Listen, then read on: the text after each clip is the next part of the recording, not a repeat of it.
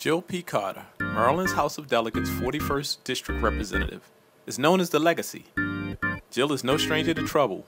Even though her life didn't start out that way, Jill was born and raised in Ashburton, a middle class section of Baltimore City. Her mother, Zerita Joy Richardson Carter, was a school teacher, and her father was civil rights leader Walter P. Carter. Let's listen to how Jill describes growing up in Ashburton. My childhood in Baltimore was, was for lack of a better word, great.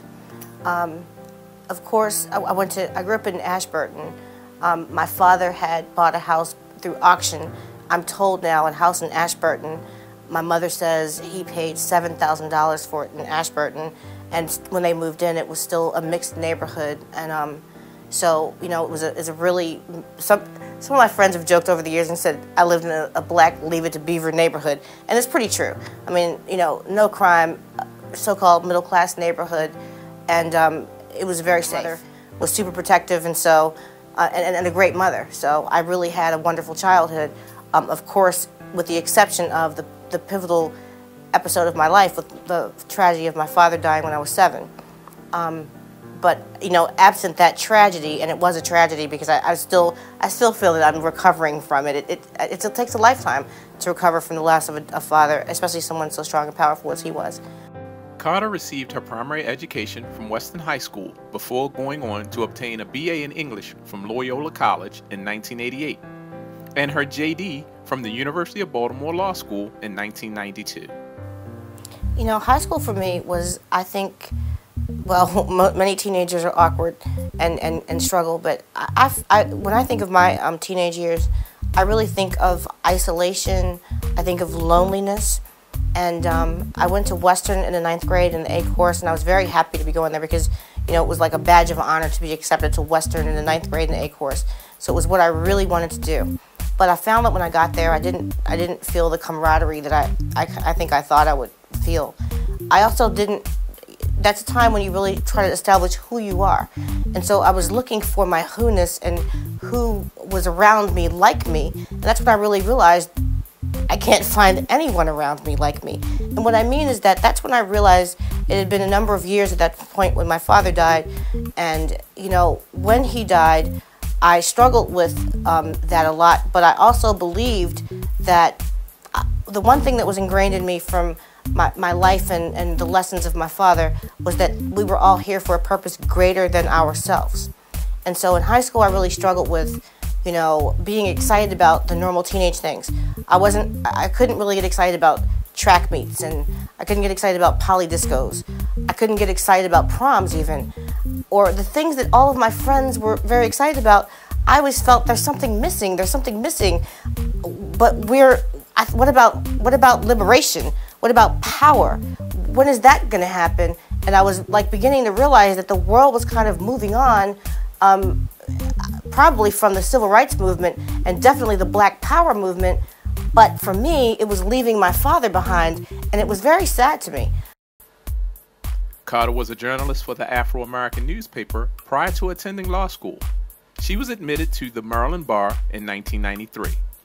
Her vast work experience includes staff attorney for the Legal Aid Bureau, the Office of the Public Defender, and the Office of the City Solicitor. She is a member of the Monumental City Bar Association, the Maryland Trial Lawyers Association, and a founding member of the Black Lawyers Group and founder and president of the Walter P. Carter Foundation. Well, I went to law school just you know, saying to God, please, God, just let me be in with everyone else. I don't have to do well. just don't let me fail because I looked at it as this is my ticket uh, to a life of, of being able to provide for myself. I had worked, um, I had worked, um, you know, in, in jobs that didn't pay very well, part-time jobs in college, and then um, around that time I was, I was a reporter at the Afro, and trying to work and go to school, and the, the pay was very low, and I loved being a journalist, but I wanted an ability to make money for myself, and so law school was very important to me initially for that reason. And also, I think inside I wanted to prove to myself that I wasn't dumb, because after Loyola and the grade issue, I, I felt, I began to question whether I was really an intelligent person. And, um, and so it was important to me to, to just not fail out initially. But then I realized that, um, wow, finally, we're studying all the things that I care about. Like we're studying things about constitutional rights and finally academics is connecting with what with purpose. And and I, I began to feel one I was I was happy. I was very, very happy. I actually for the first time since probably elementary school loved to learn. I loved to read. I loved to learn. And I began to have fantasies about becoming a great lawyer like Thurgood Marshall and, and, and arguing cases before the Supreme Court. She was the executive director of the Maryland Minority Business Association in 2002, chair of the Baltimore branch of the NAACP Legal Redress Committee, and was listed in Maryland's top 100 women in the Daily Record in 2006. In 2009, she was honored as an exceptional woman in business and government at the first annual Pretty in Pinstripes Women's History Month celebration.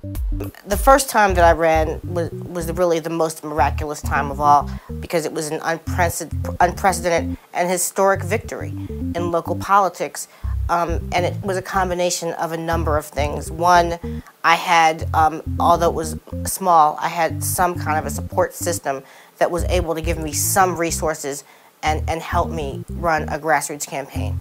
Um, the second thing is I had a father's name, Walter Carter, that resonated with older people and not just black, but many people.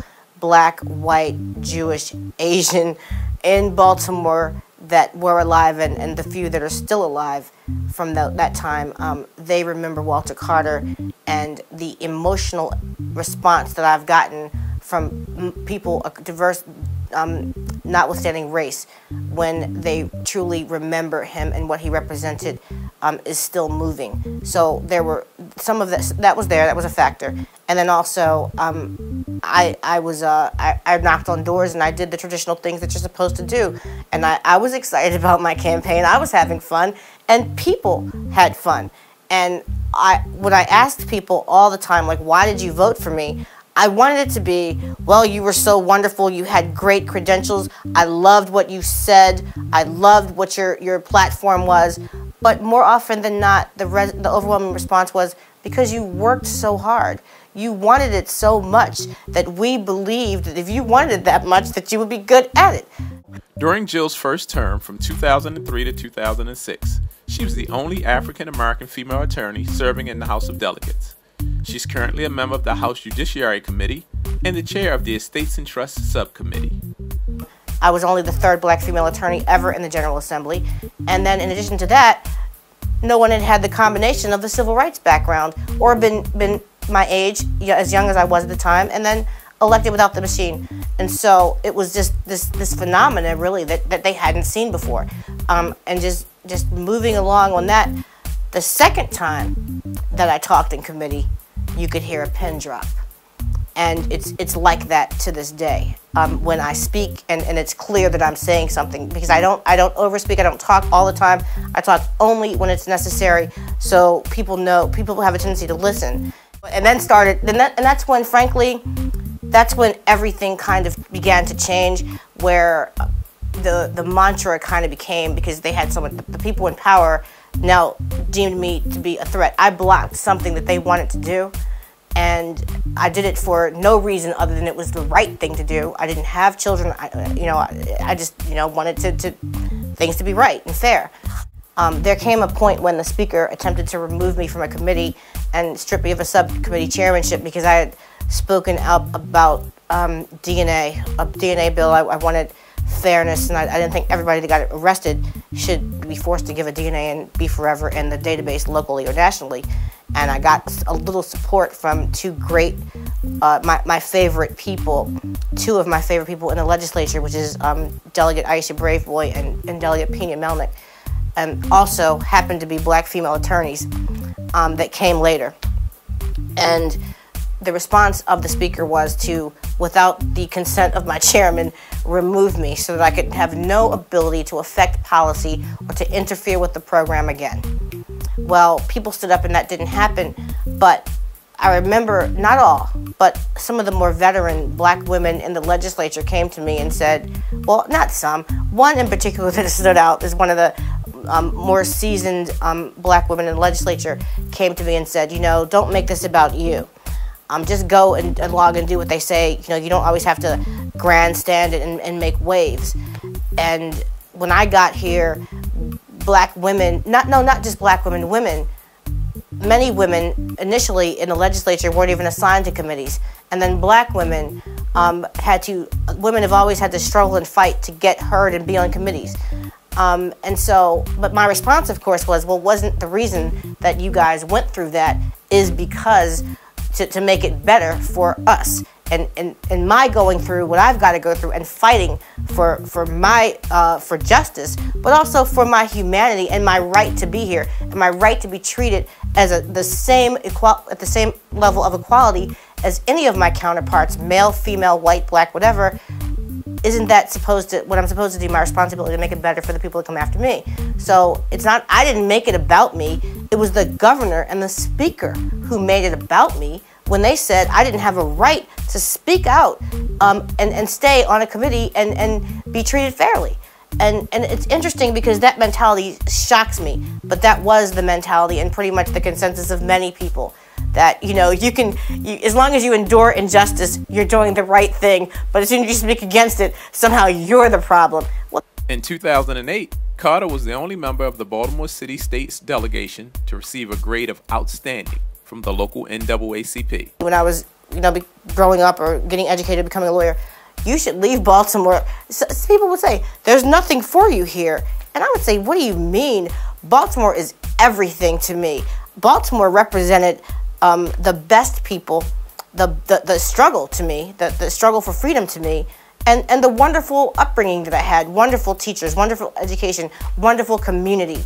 I knew, I know, I knew and continue to know beautiful, beautiful people and families here. But what I realize is that there has not been a glue that kind of brings out the people or the, the, the, the that, that best of people um, and connects them with how we lead a, another struggle to really fix a lot of the right a lot right a lot of the wrongs. We continue to have the worst political condition that I can fathom, except for maybe some some places in Africa um, that are just you know more blatantly corrupt than this city. And and I'm not pointing pointing the finger at any particular person or group, but it's not even the politicians. It's, it's kind of an acceptable way of, of, of, of a modus operandi of our political system where you know a person is selected and put out in front and given all of the machine support and the real agenda is never the person. It's just they know that the person isn't going to make waves so that the, the, the, the wealthy people and the paternalists that run our entire city are going to be able to do business as usual. And anyone that's going to put a wrinkle in that is somehow never allowed to get to that position including me. Um, you know, I once had aspirations to be the mayor and fix everything in Baltimore, and I still to this day, I still to this day to believe that I am the person or was the person that could right many of the wrongs in Baltimore and create a better city for everyone.